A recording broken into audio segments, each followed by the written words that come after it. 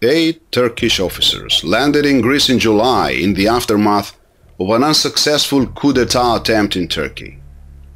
They flew by helicopter to the northern city of Alexandroupolis seeking asylum.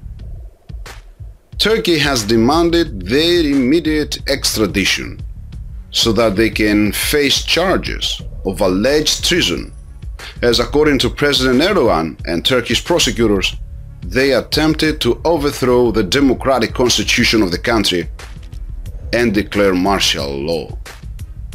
There is no doubt that crimes were committed during the coup d'etat attempt, which can be easily verified by merely watching the videos uploaded during the unsuccessful revolution.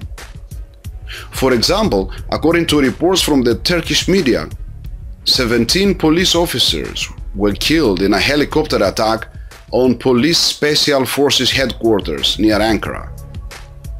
However, the alleged role of those eight military officers in the coup d'etat can only be judged in a court of justice. All eight officers deny any role and involvement in the revolution. Moreover, Greek courts ruled that they don't have sufficient evidence linking the eight men to an alleged attempt against President Erdogan's life.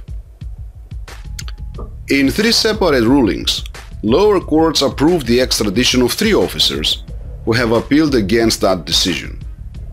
On the other hand, those appellate level courts have denied the extradition request for the other five officers, a decision which was appealed against by the head of the appeals prosecutors. It seems that Ankara's officials were outraged by the developments in the case, and some of them resorted to issuing territorial claims in the Aegean Sea and threatening to harden their stance in the divided island of Cyprus.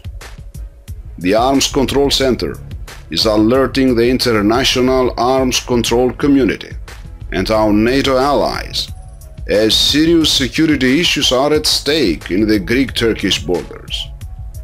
It seems that Turkish officials, including President Erdogan, are trying to export their internal national crisis into Greece in an effort to force a peaceful and friendly neighboring country and a NATO ally to extradite the Turkish military officers, despite the fact that hard evidence exists that many other officers who were arrested in Turkey under the same charges have been tortured. The Greek court judges denied the extradition request, accepting the case made by the officers that their safety will be compromised if they are returned to Turkey and that they will not receive a fair trial.